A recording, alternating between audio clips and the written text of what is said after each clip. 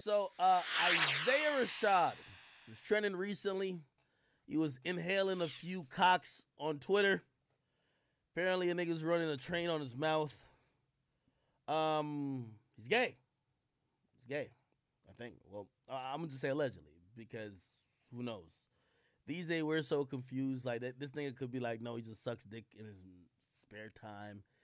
I don't know. Like these days, bro, I just can't call it. You know what I mean? He might just be like, he was gay. Now I don't know what's going on. Anyway, um, it was exposed, and I guess someone exposed, and one of his lovers exposed that you know what I mean he was gargling up semen, and um, people were reacting to it. Um.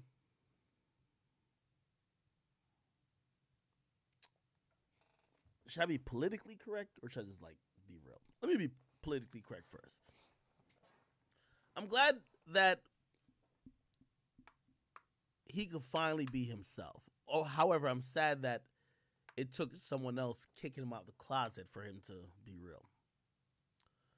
Um, yeah, that's that. That's so I could say to be politically correct. I'll be real now though. Uh, let me just be honest with y'all. You saw these niggas in TDE who've been saying they got issues with this, this, and third. I think now we're seeing the fucking truth. These things got issues maybe with themselves. Okay?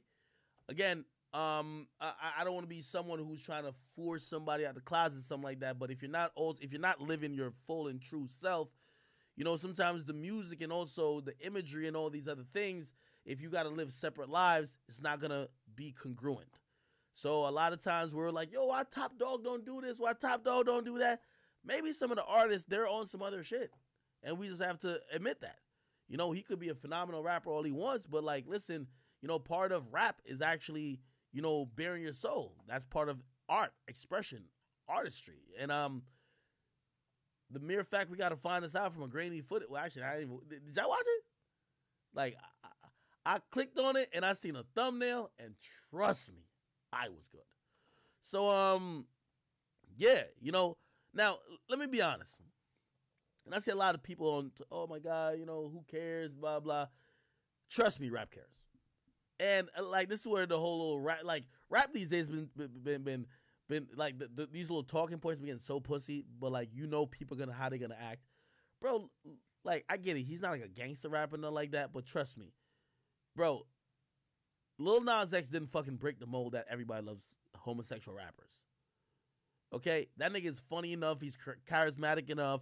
He's singing. He has this whole other audience that's just not um urban people that usually like rap, and he's winning. Congrats to him.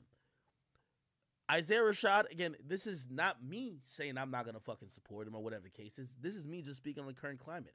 I just don't think that people are going to give him the fair shot that he should be afforded based on his rapping skills. Now, okay, y'all could sit in this fairy tale world and be like, "Oh my God, no, you shouldn't be, you shouldn't be judging him off a video of him sucking some cocks."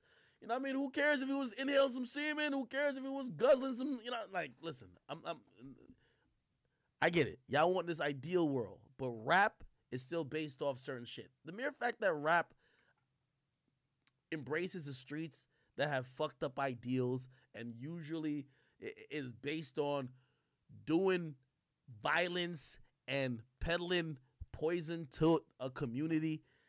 The mere fact that rap and hip hop embraces that, don't act like rap is some holistic thing that because now that you have been exposed to suck some penises, it's going to exalt you and give you the the the same respect or more to succeed. No.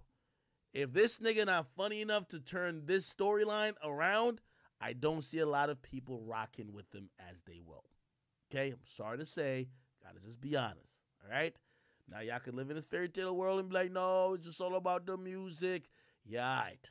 It's all about the music till you find out that six nine snitched. It's all about the music till you realize the motherfucker got his chain snatched. It's all about the music until you find out about these all these intangible shit that we do give a fuck about. Okay, so the mere fact that he was inhaling a bunch of Penisaurus Rexes on video, you are going to judge him. I'm sorry. I know these are, oh my God, no, we shouldn't. You guys are, hey, this is rap, okay? This is rap. And this is rap and hip hop. and people praise drug dealers and killers. Those aren't really upstanding, you know what I mean, individuals in the community. Don't think they're gonna be all the way accepting of this guy, and especially he might not be there yet, you know, mentally in accepting the fact that the world is going to see him as a homosexual man. You know, if, if he was going to be accepting of that, he would have probably outed himself in a more, you know, um, um, preferential fashion. Um, I don't know, maybe a thematic album, something like that. Like, ain't, ain't Tyler Creator gay? Like that nigga was talking about getting fucked like in some flower boy shit. Like, who knows? Like, bruh, you know what I mean? But he did in a way that was artistic. Actually, he did in a way I don't even know if he gay or straight. You know what I mean? But I never seen him with a woman. So you know he did in a cool way. So like people like that. You know what I mean? Like he's the flower boy. You know what I mean? Like he was whatever was going on over there. You get me?